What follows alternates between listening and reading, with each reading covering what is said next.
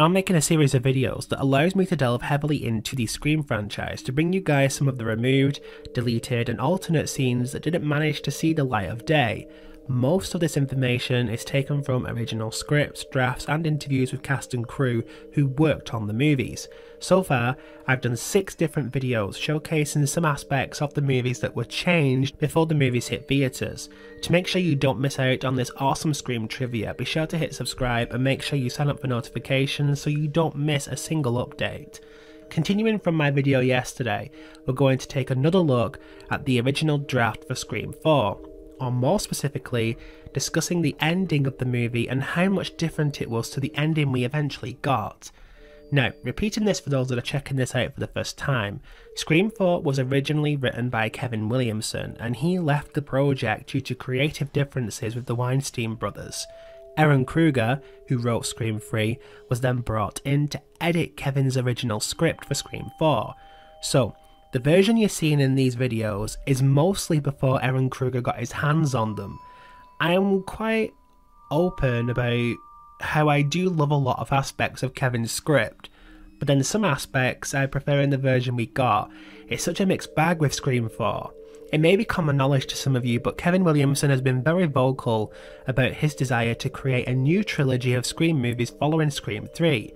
He intended on 4 being the beginning of a new set of movies, which would follow a fifth and a sixth. He was so confident in this idea that he pitched it to Dimension Films, and they were quite happy with the idea.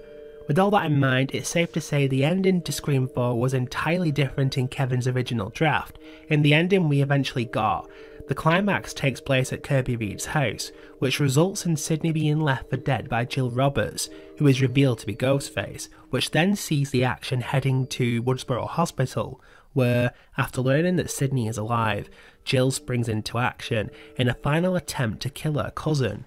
The plan doesn't work, however, and Jill is eventually killed. Now, in the original draft, the ending was completely different. I'm not sure which I prefer, to be honest with you, but I'm going to read through it all now so you guys can form your own opinion. So, the setup was mostly the same. Jill had staged this whole crime scene. She'd stabbed Sidney as the police were on their way. The only difference with this draft was that Gale accompanied Dewey to Kirby's house alongside the police. So, without further ado, let's take a look at this original ending. As Jill lay there, hurt and bleeding, her face full of helpless innocence, the moment dissolves too. The aftermath, flashing squad cars and ambulances, the carnage is overwhelming. Police barricade the property, media gawk from a distance. On a stretcher in the back of an ambulance, Jill's wounds are being treated. Her shirt has been cut up at the backside, and little pieces of glass are being picked from her flesh.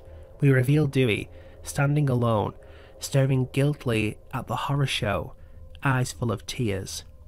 Gale, this wasn't your fault. Dewey doesn't speak. He's terribly shaken.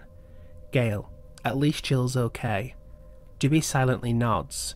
Gale hugs him tighter. Jill sits in the back, weakly talking to Dewey, laying out her cover story. Charlie told me he and Trevor had planned this since last year.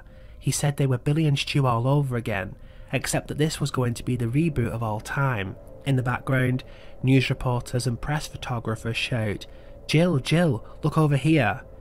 Jill timidly squints at Dewey, a helpless little girl face. What should I do? said Jill.